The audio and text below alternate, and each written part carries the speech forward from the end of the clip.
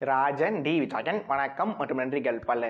Dead pool and Wolverine நம்ம Ryan Reynolds அவர்கள் Deadpool வாழ்க்கையிலிருந்து விலகி ஒரு நார்மல் வாழ்க்கை வாழ ட்ரை பண்ணிட்டு வராரு. ஆனால் இது ஒரு வழிபாதை. ஒரு முறை உள்ள வந்துட்டா திரும்ப போறது நம்மளோட உயிரா மட்டும்தான் இருக்கணும்னு சொல்ற மாதிரி நம்ம ரைன் ரெனால்ட்ஸ் இருக்க டைமில் எனக்கு ஒரு ஆபத்து வரப்போகுதாமா? அதுக்கு என்ன காரணம்னு கேட்டால் நம்ம லோகன் உள்வரின் அவர்கள் இறந்தது தான் டைம் வேரியன்ஸ் அத்தாரிட்டிஸ் அந்த சொல்கிறாங்க இதை கேட்டு கடுப்பான நம்ம ரைன் ரெனால்ட்ஸ் அவர்கள் அதிசய பிறவி படத்தில் வர சூப்பர் ஸ்டார் தலைவர் ரஜினிகாந்த் அவர்கள் தன்னை போலவே இருக்க இன்னொரு ரஜினியை தேடி போகிற மாதிரி நம்ம ரைன் அவர்கள் வேற வேற டைம் லைன் வேற வேற யூனிவர்ஸில் இருக்க உள்வரினை தேடி போறாரு. அப்படி தேடி போன இடத்துல பல விதமான உள்வரின் கிட்ட அடியையும் உதையை வாங்கி ஒரு வழியா இருக்கிறதுலயே டம்மி பீஸ் உள்வரின் ஒருத்தரை தேடி கண்டுபிடிக்கிறாரு. இந்த பயணத்தில் இவங்களுக்கு ஒரு சில சூப்பர் ஹீரோ நண்பர்களை கிடைக்கிறாங்க.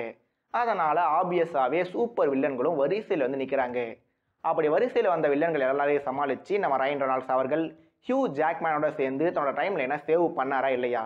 எம்சியூவை அடுத்த கட்டத்துக்கு நகர்த்தினாரா இல்லையா?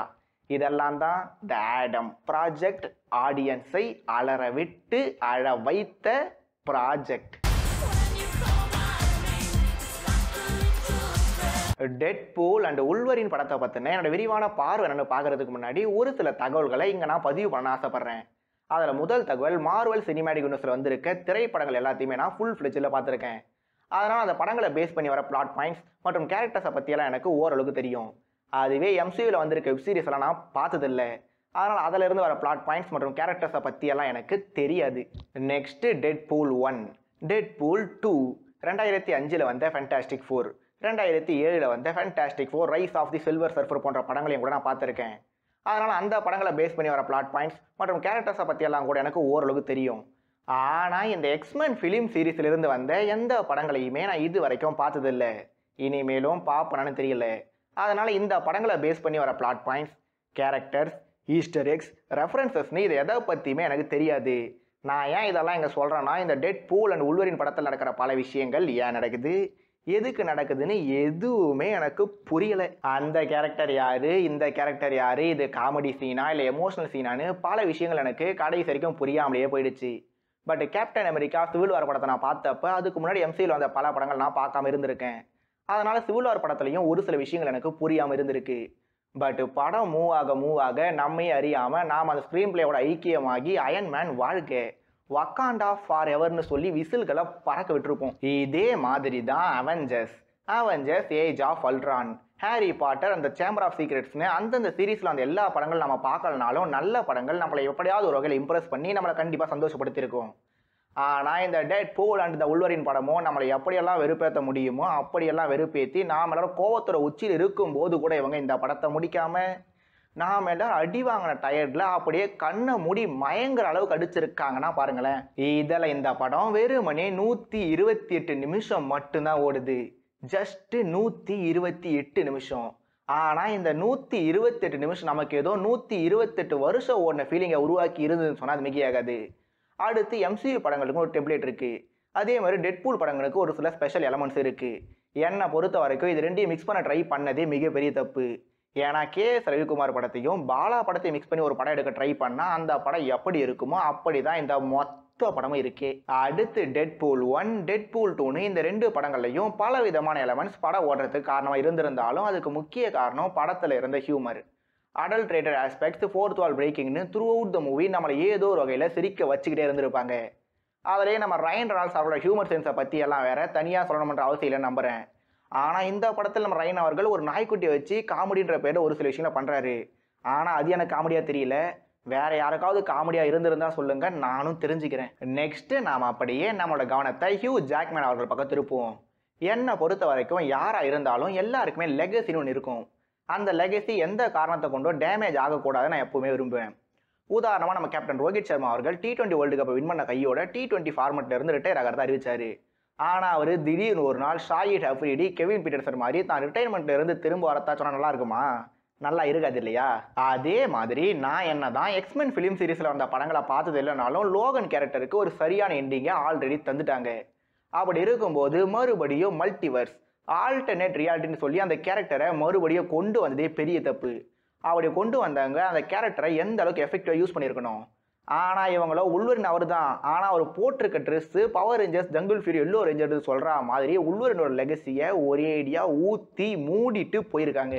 நெக்ஸ்ட்டு போன பாயிண்டில் லெகசியை பற்றி பேசும்போது ரோஹித் சர்மாவை பேஸ் பண்ணி ஒரு உதாரணத்தை நான் சொல்லியிருப்பேன். ஆனால் படம் பார்த்தப்ப நான் சொல்லணும்னு நினச்ச உதாரணம் அயன்மேன் அவர்களை பேஸ் பண்ணி இருந்தது. ஏன்னா அப்போ அவர் டோனி ஸ்டார்க்காக இருந்தார். ஆனால் நான் இப்போ ஸ்கிரிப்ட் எழுத ஸ்டார்ட் பண்ணும்போது அவர் டாக்டர் டூமாக மாறிட்டு இருக்காரு.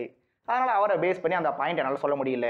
ஆனால் அவெஞ்சர்ஸ் டூம்ஸ் டேவை பற்றி சொல்ல என்கிட்ட பல பாயிண்ட்ஸ் இருக்குது அது என்ன பார்க்கறதுக்கு முன்னாடி நாம் முதல்ல இந்த படத்தோட பர்ஃபார்மன்ஸ் பற்றி பார்க்கலாம் ஆமாம் என்ன பெரிய பர்ஃபார்மன்ஸு ரைன் ரெனால்ஸ் படம் முழுக்க மாஸ்கோட தான் இருக்கார். மாஸ்க் இல்லாத சீன்ஸ்லையும் ஃபேஸ் முழுக்க மேக்கப்போட தான் இருக்கார். மாஸ்க்கு மேக்கப் இல்லைனாலும் ஹியூ ஜாக்மன் எப்படியா இருந்தாலும் ஒரே ரியாக்ஷன் தான் படம் முழுக்க தர போகிறான்னு இருக்கிறதால மெயின் லீடோட ஆக்டிங்கை பற்றி பாராட்டி பேசலாம். என்கிட்ட எந்த வித பாயிண்ட்டுமே இல்லை. அடுத்து எம்மா கொரின் மாதிரி ஓரளவுக்கு நல்லா பர்ஃபார்ம் பண்ணியிருந்தவங்கள பாராட்டி பேச ஆசையாக இருந்தாலும் படம் அந்த எஃபெக்ட் அதை பற்றி பேச விடாமல் தடுத்துடுது. பட் நம்ம கேப்டன் அமெரிக்கா கிறிஸ் எவன்ஸ் அவர்களை ஃபேண்டாஸ்டிக் ஃபோர் கேரக்டரில் பார்த்தப்ப நான் ரொம்பவே சந்தோஷப்பட்டேன். அவரை வச்சாவது ஏதாவது நல்லா ட்ரை பண்ணியிருக்கலாம். ஆனால் அவரோட கேரக்டரையும் டம்மியாக முடிச்சு மற்றும் ஒருத்தரோட லெகசியும் முடிச்சு விட்டு போயிருக்காங்க.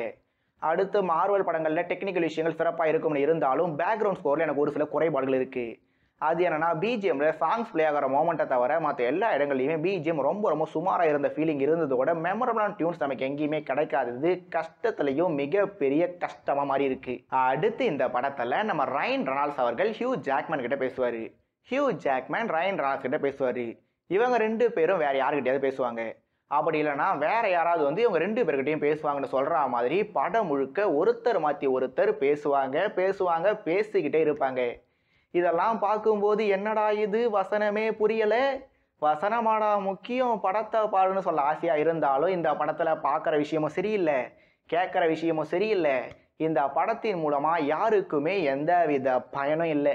அப்போ இந்த படத்தில் பாசிட்டிவே இல்லையானா மேபி எக்ஸ்மென் ஃபிலிம் சீரீஸில் வந்த படங்கள் மற்றும் எம்சியூவில் வந்த வெப் சீரிஸ் இது எல்லாத்தையும் பார்த்துட்டு கூடவே நான் வீடியோவில் ஸ்டார்டிங்கில் சொன்ன படங்களையும் பார்த்தவங்களுக்கு வேணும்னா இந்த படம் ஒர்க் அவுட் ஆகியிருக்கலாம். பட் அப்படி எல்லா படங்களும் நீங்கள் பார்க்கலனா இந்த படம் உங்களுக்கு கண்டிப்பாகவே புரியாது. அதனால் இந்த படம் உங்களுக்கு பிடிக்கவும் பிடிக்காது. இதன் மூலம் கடைசியாக நான் சொல்ல வர பாயிண்ட் என்னன்னா டேட் பூல் ஆர்மி ஆல்டர்னேட் டைம்லைனுக்கான சாவினி இவங்களும் என்னென்னமோ ட்ரைன் பண்ணி இந்த படத்தை பாயிண்ட்லெஸ் இல்லாமல் முடிச்சிருந்தாங்க. ஆனால் இந்த படத்தை நம்ம ஷான் லேவி அவர்கள் இயக்க அதில் நம்ம ரயன் ரான்ஸ் அவர்கள் நடிக்கன்னு கடந்த கால வெற்றி கூட்டணி இந்த முறை வெற்றி பெற முடியாமல் போனதை நினச்சி வருத்தமாக இருந்தாலும் அண்ணாமலை பாஷா படத்தை எடுத்த சுரேஷ் கிருஷ்ணா ரஜினிகாந்த் காம்போ தான் பாபா படத்தை எடுத்தாங்கன்னு சொல்லும்போது இந்த டெட் பூல் அண்ட் உள்வரின்லாம் ஏமாத்துறோம். ஏன்னா மல்டிவர்ஸ் சாகால மார்வல் மாறனடி வாங்கிறது இது ஒன்றும் முதல் தடவை அல்ல. Tony Stark AKA Iron Man which is equal to Robert Downey Junior Iron Man first பார்ட்டில் த ட்ரூத் இஸ் ஐ ஆம் அயன் சொன்னவர் அவஞ்சஸ் என்கேம் படத்துலையும் அதே டைலாக சொல்லி படம் பார்க்க போன ஆடியன்ஸ் பல பேர் அழுக வச்சுட்டு தன்னோட எம்சி பயணத்துக்கு முடிவு தந்திருந்தார். அயன்மேன் கேரக்டரை இப்படி முடிச்சதில் எனக்கு பெரிய அளவு உடன்பாடு இல்லை. ஏன்னா தார் கேப்டன் அமெரிக்கா படங்களுக்கெல்லாம் ஃபோர்த்து பாட்டு வரும்போது அயன்மேனை வச்சு எத்தனை படங்கள் எடுத்தாலும் அதை பார்க்க ஆடியன்ஸான நாமலர் ஆவலாக இருக்கும்போது இவங்க ஏன் அயன்மேன் அண்ணனுக்கு ஃபேர்வெல் தந்தாங்கன்ற ஒரு வருத்தம் மார்வல் ஃபேன்ஸ் எல்லாருக்கிட்டையும் கண்டிப்பாக இருக்கதான் செய்யுது. But every good thing needs to comes to எண்டுன்னு சொல்கிற மாதிரி Tony ஸ்டார்க்கோட ending was picture perfect ending ஏன்னா ஃப்ரம் டே ஒன்ல இருந்தே இதுதான் அந்த கேரக்டரோட பர்பஸாக இருந்திருக்கும். அதை நம்ம ராபர்ட் டவுனி ஜூனியர் அவர்கள் அவருக்கே உண்டான ஸ்டைலில் சீரும் சிறப்புமாக பண்ணி முடிச்சுட்டு போயிருப்பாரு. பட் நடந்து முடிஞ்ச காமிக்கான் எவெண்ட்டில் மார்வல் வெளியிட்ட அனௌன்ஸ்மெண்ட் என்டையர் மார்வல் ஃபேன்ஸையுமே ஷாக்கில் ஆழ்த்தி இருந்துன்னு சொன்னால் அது மிகையாகாது. ஏன்னா நம்ம ஆர்டிஜே அவர்கள் டாக்டர் டூம் கெட்டப்பில் வந்து பொறுமையாக மாஸ்கை கழட்டி ஸ்டைலாக தன்னோட கூலிங் கிளாஸை போட்டு நியூ மாஸ்க் சேம் டாஸ்க்னு சொன்னப்ப எப்படி தெரியுமா இருந்தது?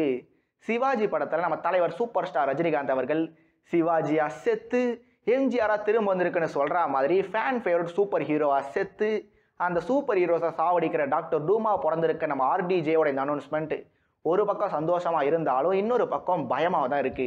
ஏன்னா இவர் டாக்டர் டூமா நடிக்கிறதால அயன் மேனோட லெகசி எந்த இடத்துலையுமே பாதிப்படைஞ்சிடக்கூடாது. மேலும் டாக்டர் டூம் என்னதான் வில்லன் கேரக்டராக இருந்தாலும் அந்த ரோலில் நம்ம ஆர் டிஜே அவர்கள் நடிக்கிறதால அந்த கேரக்டரை என் போன்ற ஒரு ஹீரோ தான் பார்ப்போம். அதனால் அந்த கேரக்டரோட இம்பார்ட்டன்ஸ் ஸ்க்ரீன் டைம் ரொம்ப ரொம்ப முக்கியமாக அந்த கேரக்டர் யார் யாரெல்லாம் அடிக்கிறாரு? யாருக்கிட்டலாம் அடி வாங்குறாரு?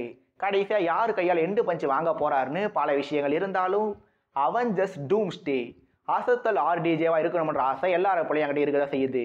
Because doctor Victor von Doom let see you soon in twenty twenty six as an RDJ come back மீண்டும் இன்னொரு சந்திக்கும் வரை இது ராடி ரிவ்யூ நாராஜன் டி விஜய் நன்றிகள் பல மற்றும் வணக்கம்.